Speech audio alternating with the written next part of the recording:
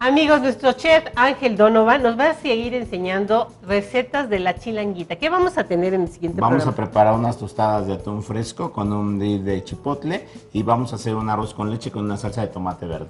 ¿Qué tal, eh? Salsa de tomate en arroz con leche. No se pierda nuestro siguiente programa porque va a estar muy interesante.